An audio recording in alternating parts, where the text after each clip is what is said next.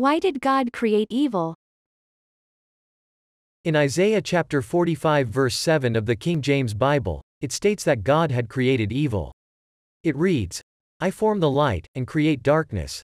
I make peace, and create evil. I the Lord do all these things.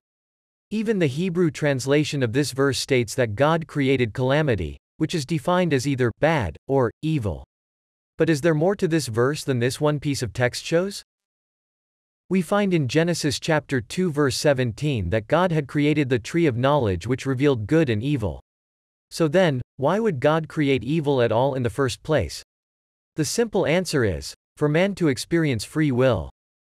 As it states one verse back, and the Lord God commanded the man, You are free to eat from any tree in the garden, but you must not eat from the tree of the knowledge of good and evil, for when you eat from it you will certainly die.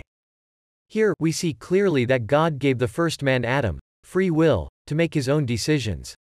Nowhere in the Bible did God force Adam to eat from the tree or to abstain from it. Adam made his decision with complete free will. Which means it's kind of a good thing we weren't programmed as robots, but as humans who can make our own decisions. Can you find anyone in the world today who is angry because they've been given free will? You won't find anyone who is.